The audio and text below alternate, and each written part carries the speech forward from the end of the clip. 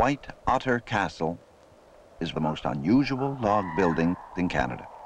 It springs from the ground as part of the landscape, a lonely sentinel beside a pebbly beach on White Otter Lake in northwestern Ontario.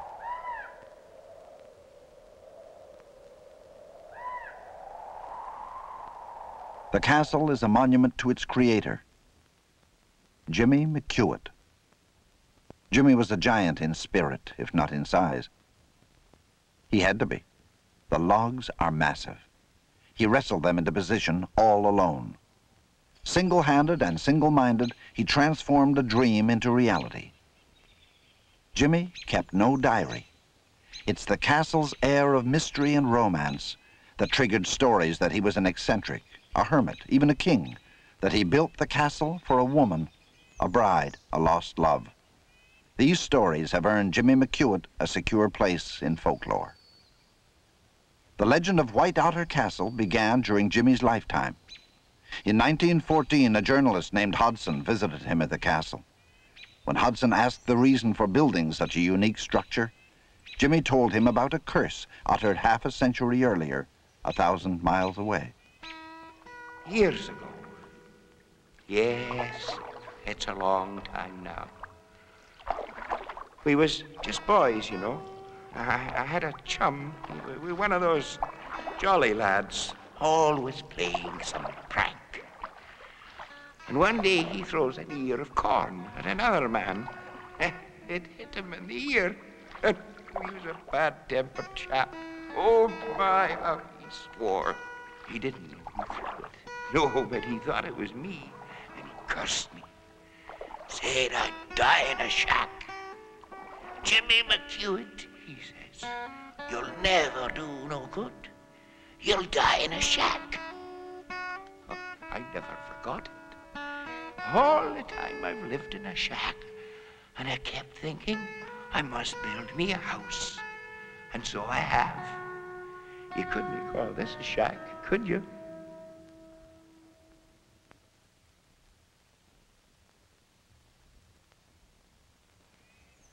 Jimmy McOuat was born in 1855, the youngest son in a large family. He grew up near Brownsburg, Quebec, on the family homestead. The first McOuats came to Canada as stonemasons to work on the Rideau Canal. Others followed. Together, they pioneered the Brownsburg area north of Montreal in the Ottawa Valley. It was here he developed qualities that dominated his adult life. Skill at building with logs, a capacity for hard work and pride in his Scottish ancestry. Jimmy was a pioneer too. As a young man, he went west to seek his fortune in the Rainy River Valley, just being open to settlers.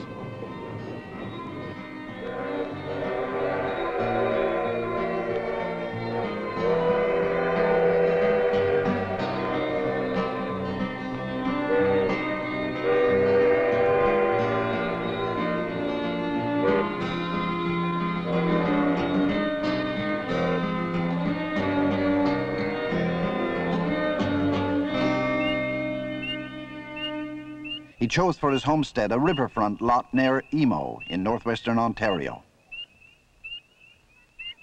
But he was lonely. In 1887, he asked a new neighbor to fetch him a bride from southern Ontario. Our short acquaintance did not suit me. I want you to get me a woman, rather a wife. Now, I want you to get me a good one. Remember, you will have to live alongside of her. I would like a girl under 27 years, brought up on a farm, her hair maybe any color except fiery red. Not too thundering big. You know what kind of a girl, all right? Myself, at 31, I use no liquor, nor tobacco, nor do I make use of profane language. I can get hundreds to testify to that. I haven't much learning, but I have morality and character to make up. Please oblige your neighbor, James A. McOuat. The neighbor matched him up with Jane Gibson, 19, good looking and willing. But for some reason, we'll never know, Jimmy backed out. What we do know is that Jimmy cleared the land and worked his homestead alone. He used the logs to build house, barn, and outbuildings. He put up snake fences and grew crops. He survived, even prospered. He gained title to three farms before deciding to move on. Before the turn of the century, he left his homestead, never to return. Irma Gillis's parents bought Jimmy's property. It was a lovely place. My mother dubbed it Bonnie Doon when she came, so they always called it the Bonnie Doon Farm. There was a homesteader's log cabin, a very neat one, built by James McCoot. A well built, everything he did was well done. The attic of the little log house seemed to be half full of letters scattered all over the place.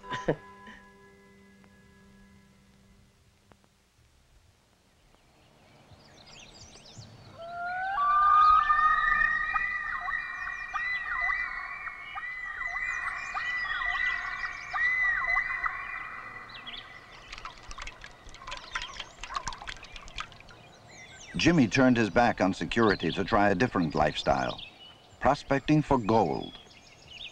The district had been raging with gold fever all through the 1890s, and local mines were producing more gold than all the rest of Ontario. But prospecting failed him.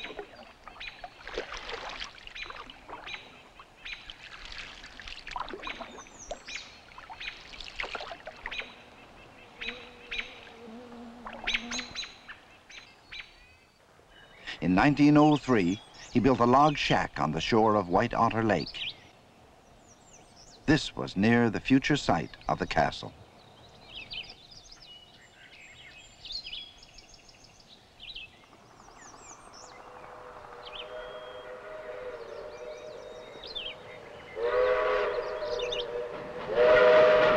To the north and south, railways were funneling thousands of settlers west to homestead the prairies. But Jimmy had finished with farming. He cast his lot with the Shields rocks, water, and trees.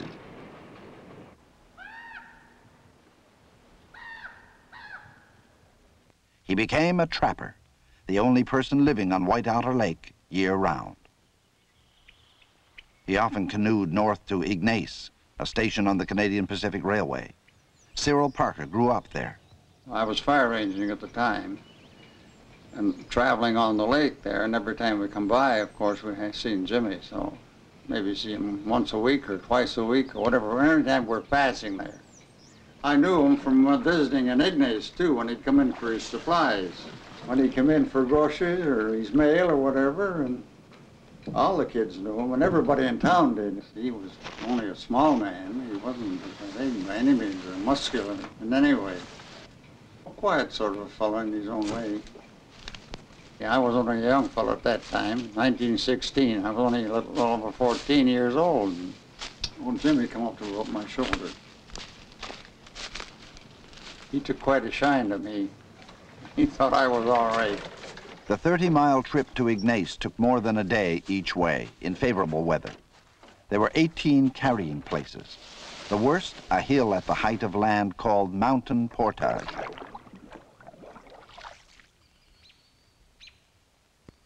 Nobody knows just when Jimmy decided to build the castle.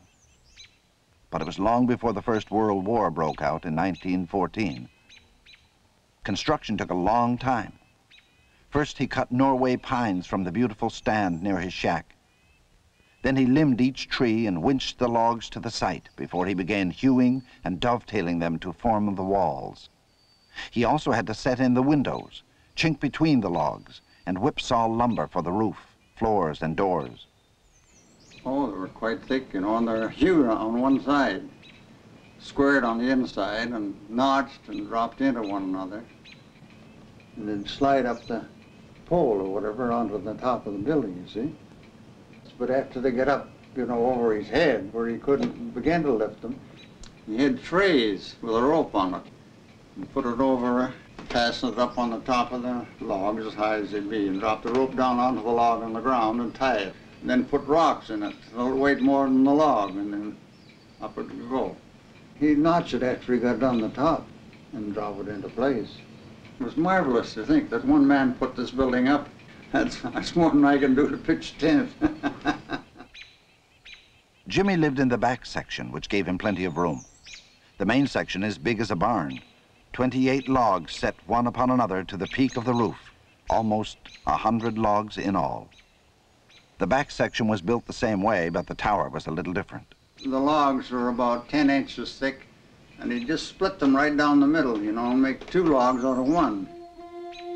The tower was 40 feet high. By climbing stairs to the top floor, Jimmy could spot animals moving through his domain, and people. His solitude had ended in 1912 when a logging company moved in to cut pine for lumber. The company built several cutting camps along the shoreline and a main supply camp to the south at Flanders on the Canadian National Railway. Jimmy began bringing in his supplies over the company's ice road. Now there were more people living and working on White Otter Lake than ever before. Jimmy found he had to build a shed to protect his tools and equipment. Ever since his arrival, Jimmy had lived in harmony with his surroundings. He trapped no more than was necessary to support his simple lifestyle. Jimmy, like his castle, blended with the landscape rather than trying to subdue it.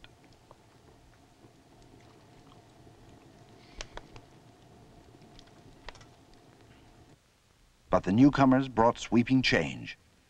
Trees in large numbers were cut in winter and towed across the lake in summer. A dam was built in order to raise the water level and drive the logs downstream to the sawmill, but ironically it was all in vain. People still call it the Lost Drive. The dam affected Jimmy, too. Three years of high water left its mark along the shoreline. Waves washed right over Jimmy's beach. The water was dirty with bark. During the spring breakup, the castle's foundation was encased in ice. Jimmy yearned for the power to control the destiny of his masterpiece. He decided to try buying the land, even though it had not been open to settlers. He had a surveyor come from Kenora to run the lines. Then he applied for title. He paddled to Ignace several times that summer to use the post office. But the answer to his request was a crushing no. The official letter questioned his right to settle there at all, let alone have a survey done. The castle stood within the timber limit. The letter offered one slender ray of hope. The land department kept his deposit and sent him back a receipt. Jimmy continued his life as usual.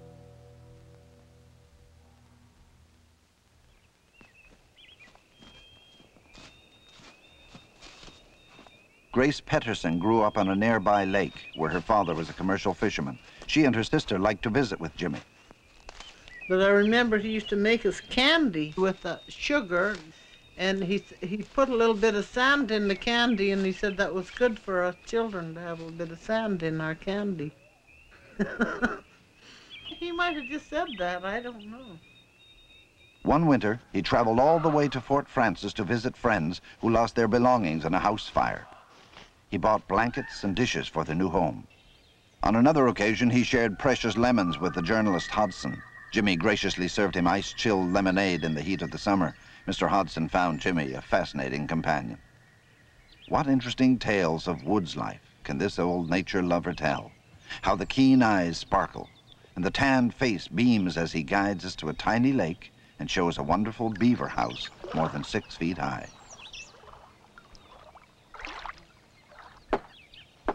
Jimmy was fairly self-sufficient. He baked bread and split firewood. He grew a vegetable garden, later fencing it in to keep the deer out. He often fished with hook and line. In the fall, he used a net to catch enough lake trout to see him through the winter. He grew rhubarb and picked berries.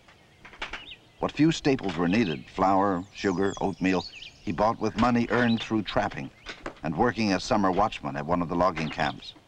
But no matter how busy he was, Jimmy always found time for the little extras, like flowers. Oh, he had all kinds of them there. The place was just alive with flowers. There were so many of them. He loved the birds, and that's why he never had any cats or anything around his place. He had little places outside where the birds would come to eat.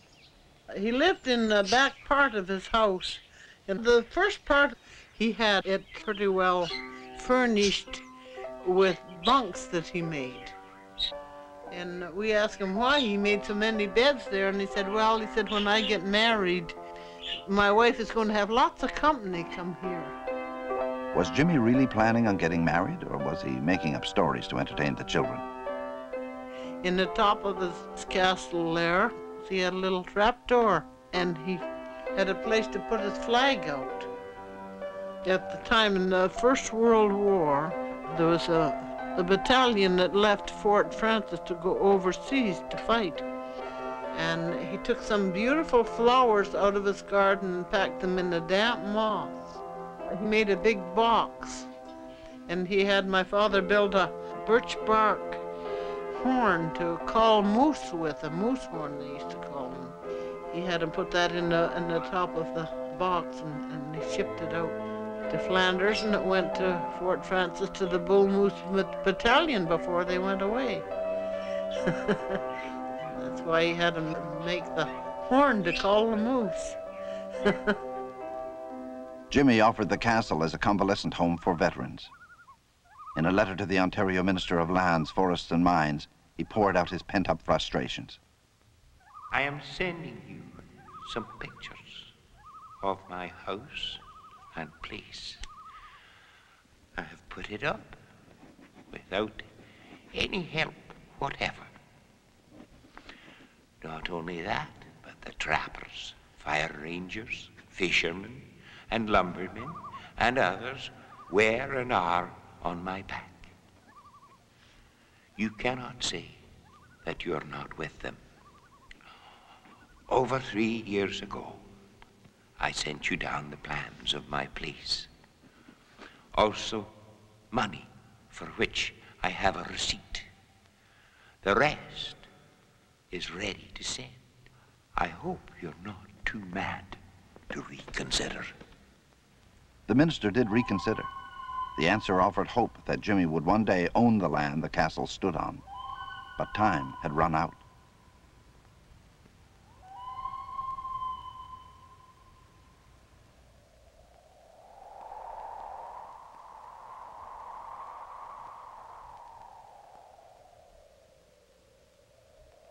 He, he used to come to our place for Christmas every year. And he had about 12 miles or something like, like that to come to our place. But he used to snowshoe over there in the wintertime. He did not appear that Christmas of 1918 or ever again.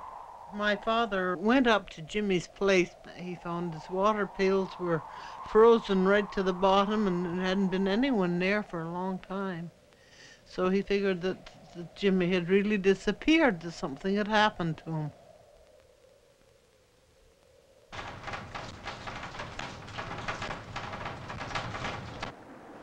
So in the spring, all the family went up there in this little, this little old inboard motor we had, boat we had.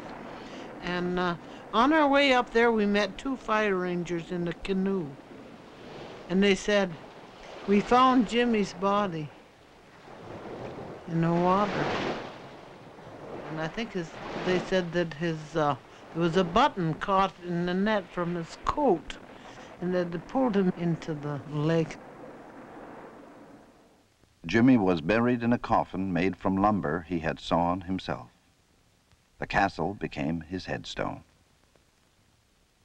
His story might have ended right there if it weren't for the castle but because he turned his dream into a reality. Jimmy McOuat lives on through the legend of White Otter Castle.